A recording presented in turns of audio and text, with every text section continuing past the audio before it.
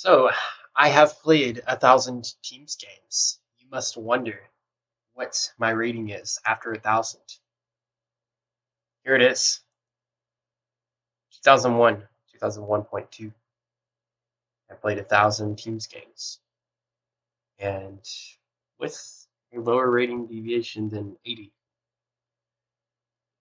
Um, in my opinion, I think thousand games is how many it takes to really see what your true rating is. So I consider myself a 2000 rated player.